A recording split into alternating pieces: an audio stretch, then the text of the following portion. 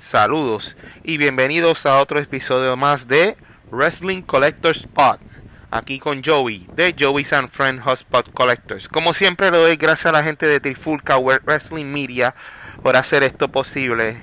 Y saludos a todos los compañeros. Saludados. Bueno, um, vamos a empezar con la serie parte o la parte número 4. Y esta va a ser de WCW. Eh, y con un bono de ECW también. Estamos hablando que después de 1993-94, ya casi al principio, WCW ya se le había aspirado la, la licencia Gallup. O ya estos se fueron fuera del negocio. Pero los principales ejecutivos, como sale según informado en The Toys That Made ellos, uno de ellos era bien fanático de la lucha libre y participaba en los eventos de WCW y fundó con otros dos ejecutivos lo que era The Original San Francisco Toy Makers. Y ellos pues adquirieron la licencia de WCW cuando se, queda, se venció la de Gallup y hicieron las siguientes figuras. Vamos a estar primero hablando, ya que la serie es un poquito intensa y voy a estar resumiendo muchas cosas. Eh, empezamos con la serie de 1994, que tiraron una línea de, dos series de dos hasta tres series de juguetes. Empezando. En esta primera serie tiraron a Brian Knobs de los Nasty Boys, al Hulk Hogan con la correa, Jimmy Hart, Johnny B. Bad, a.k.a. Mark Merrill en la WWF, Marvelous Merrill, Kevin Sullivan, Rick Flair, Sting y Vader. Y Hogan pues posando la clásica cintura. Si ven el estilo de figura son como estilo LJN pero estos eran un poquito más flexibles, que podían hacer, eh, eh, se podían, podían hacer poses y movimientos, pero tenía el mismo concepto. De ser honesto, en mi opinión personal, esta gente era un poquito maceta o tacaña y siempre querían tener, producir estas figuras a un bien bajo costo posible. Mi opinión personal. Pero para la serie número 2 que ya, si ustedes notaban, en una nota, la primera serie, la tarjeta era blanca, blanca no, era amarilla, con negro en el fondo. En la segunda serie era ya la carta color violeta, o un color azulito. Azul tirando más o menos a violeta. Y tienen, y, y tienen de vuelta lo que es a Hulk Hogan, nuevamente con la correa y el dato curioso es, si miren la foto, cuando salió la de Hulk Hogan, salió con la foto, con la, con la foto en el fondo de Johnny B. Bad. Se decía que toda, eh, se decía o se rumoraba que el día que le tocaba a Hogan fotar, posar para las fotos, pues él mismo no llegó al compromiso. Y por última hora, pues tuvieron que usar la, el card de Johnny B. Bad en el fondo. Después se hizo la corrección y se puso la imagen de Hogan. Pero este error de producción y este tipo de figura así sellada ya está, eh, tiene ya su valor de más de 150 dólares por este error de impresión. Tenemos a Jimmy Hart en dos versiones, que es la versión roja con amarillo y amarillo con rojo. Se dicen que la roja con amarillo es la más difícil de conseguir, que no hicieron muchas cantidades y esta está costando en 300 dólares en adelante. Otra versión de Johnny B. Bad, Kevin Sullivan y la figura debut de WCW de Macho Man Randy Savage, que solamente pues tenía pues su, su, su pose con, enseñando el bíceps, así de sencilla tenemos otra vez a Ric Flair y a Sting. Y a Vader. Bueno, para la serie número 3 tenemos la figura debut de Alex Wright, el luchador alemán. Tenemos a la de Big Baba Rogers. a.k.a. The Big, The Big Boss Man, que había regresado de WWF y regresó a WCW. La figura debut de Booker T como, como parte de los Harlem Heat. Craig Pittman. Hulk Hogan, pero sin la correa.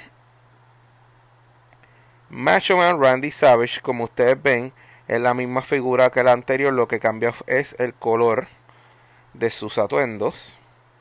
Ric Flair, las mismas figuras que la otra serie, lo único que cambia es su atuendo. La figura debut del tag team de Stevie Ray de Harlem Heat. También tenemos otra de Sting posando. Y tenemos la figura de The Giant, a.k.a. The Big Show. En donde un dato curioso, cuando WWF o WWE compra WCW, que adquiere los nombres de derecho de los luchadores también, le dieron la opción a Paul Wright o The Big Show de llamarse The Giant. Y este dijo que no, ya que no quería ser una sombra de Andre the Giant y quería hacer su legado aparte. Continuamos con la serie de Tupacs de esa misma época, donde salieron dos figuras debut inesperadas, que serían los Blue Bloods, nada, nada más y nada menos que Terra Rising y Lord Steven Regal o William Regal en WWE. Esta fue la primera figura de Terra Rising y Lord Steven Regal que hacían el tag team de los Blue Bloods. También tenemos un paquete que es de Hogan y Sting con la correa en, en la primera serie ya con atuendo verde y Sting en la segunda serie con atuendo negro y rojo. También tenemos la de los Nasty Boys en tres diferentes versiones. El estándar, negro con blanco. Tiene una con la camisa verde. Y la más rara de conseguir son las de la camisa roja. Estas son las más difíciles de conseguir. Estamos hablando de 300 a 500 dólares según la condición de, de, de la caja. Ya para el 1997 esta misma compañía saca los figuras de la NWO. Entre ellas sacan una de Hulk Hogan con la correa mundial, la figura de Kevin Nash y la figura de Scott Hall. Más adelante ese mismo año se le une los paquetes en los paquetes de cuatro las de la facción de Hollywood NWO en la que se componían de Hollywood Hogan, Buff Bagwell, The Giant y Scott Steiner.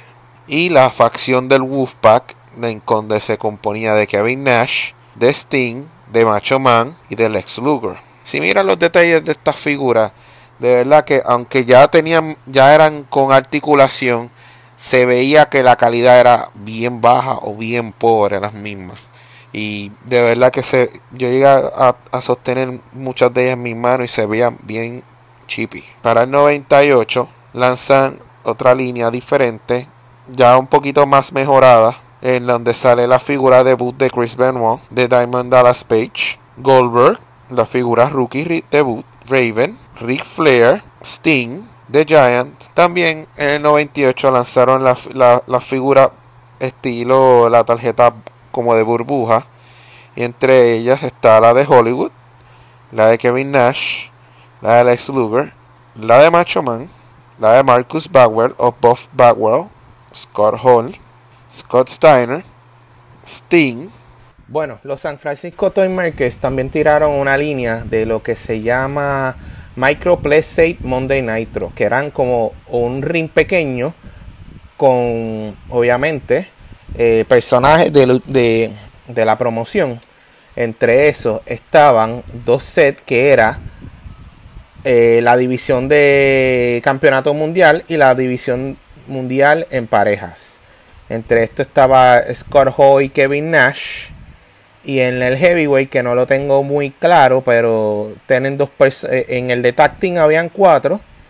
Y en el de, digo, en el de heavyweight habían dos, que lo pueden, como lo pueden ver en la imagen que se está ilustrando. también estaba la línea de las figuras que eran de las altas, que fue de las también de las últimas que tiraron, eran de 12 pulgadas, que incluía a Bill Goldberg, a Hollywood Hogan, a Macho Man y a Sting Wolfpack. Este último paquete se venden bien cara, especialmente la de Goldberg, que estamos hablando de 150 dólares en adelante. Se, se vende estas, estas figuras de 12 pulgadas de Goldberg. Y también la de Hogan es bien vendida, estamos hablando de 125, 150 dólares también. Y igual la de Macho, que estos días ha subido de precio entre los más o menos 160 a 200 dólares. Y la de Steam pues se mantiene más económica como en 60, 80 dólares. Bueno, acuérdense antes de seguir con el bono. Eh, sigan, sigan, sigan en las redes en Trifulca Wrestling Podcast. También puede darle like a este video si te gusta, un pulgarcito. Y si no estás suscribido, eres nuevo en el canal, suscríbete. En ese caso. Y ahora, vamos con lo de ECW. Pero antes de, pero antes de cerrar, esta, esta compañía, según The Toys R WCW quería que le San Francisco, The Original San Francisco Toy Makers le pagara a WCW para mantener la licencia 5 millones de dólares. En cual ellos decían que no tenían el dinero para poder pagar este fee para mantener la licencia. Y entonces el contrato, cuando se expiró, no fue renovado. Y obviamente pasó para Toy Biz en este caso, que discutiremos en otro video más adelante. Y ahora continuemos con Extreme Championship Wrestling.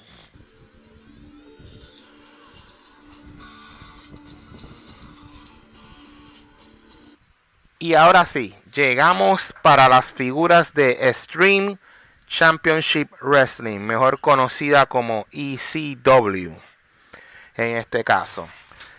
Y esta San Francisco Toy Makers no quería quedarse sin hacer dinero en el negocio de la lucha libre y se acercaron a la compañía que nadie quería firmar o no habían firmado todavía. Y esta fue ECW en donde Paul Heyman estaba también buscando expandirse y crear línea de mercancía para seguir sosteniendo la operación de la empresa. Y ya para el 1999, ya a mediados de, este año, ya lanzaron la primera serie de las figuras de String Championship Wrestling, en las que se compone en la primera serie de los personajes de Chris Candido, Justin Credible, Rob Van Dam con el campeonato, Sabu en su, eh, en su, con la cintura blanca y truza verde y Shane Douglas de franchise. Y también el 99, ya para el otoño, tiran la segunda tirada o la serie número 2 donde estaba la figura debut de los Dudley Boys, Bob Ray and Devon Dudley, Lance Storm, New Jack, ya en su figura debut oficial también, y Tommy Dreamer. Ya para el año 2000 empezaron a hacer los accesorios. Para la figura, lo que eran las escaleras, las sillas, los botes de basura en un set sencillo y un deluxe accesorio donde tenían más accesorios como palas, eh, carretas y otras cosas que podían usar los luchadores que usaban en tiempo real en sus luchas. También en el año 2000 tiraron, ya en el invierno al principio, tiran la serie número 3. Y estos fueron todas. Esta serie número 3 fue exclusivo de la, de la tienda de Target.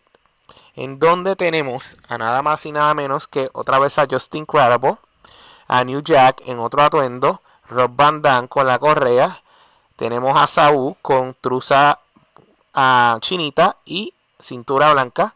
Tenemos la figura debut de Taz y una figura alternativa de Tommy Dreamer.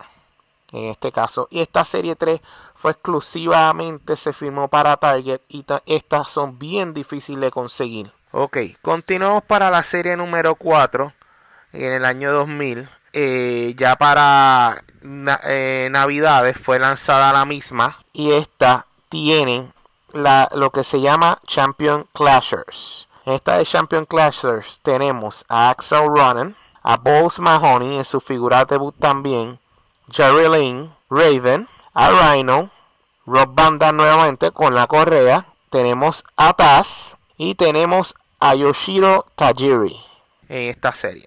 Ya en la número 5, en esta serie, se llama Bash of the Brawlers.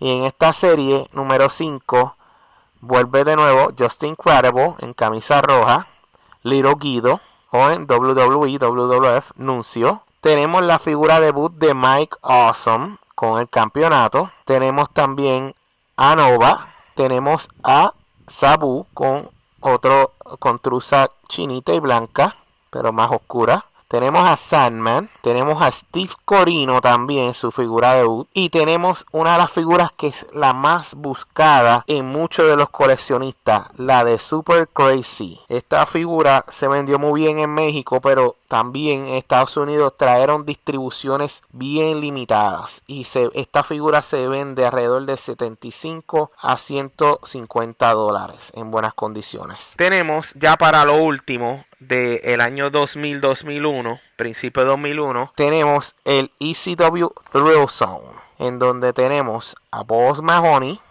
a Chris Candido, a Lance Storm, a New Jack, a Raven, Rhino, Rob Van Dam y Tommy Dreamer. Si van a ver, Rob Van Dam no tiene ya la correa y Tommy Dreamer ya estaba, había lanzado eh, otra, eh, se había lanzado en otra versión. En muchas de ellas tenían ya articulación, pero ya era muy tarde, ya que ya WWF había adquirido ya los derechos de y la compañía de ECW en ese momento. También lanzaron entre el 99 y el 2000 el Wrestling Ring Gift Set, en donde tenía una figura exclusiva de Rob Van con la correa y otra de Sabu. Eh, y este ring era con accesorios, con mesas, silla, escalera las sillas eran, se podían romper, más tenía los accesorios para hacerlo un steel cage, una jaula de acero. Y aquí sería todo el bono de ECW. Y les doy las gracias como siempre a la gente de Trifulca Wrestling Media. Y recuerden en seguirme en Facebook en Joey's and Friends Hotspot Collectors. Danos like. Y búscanos en Instagram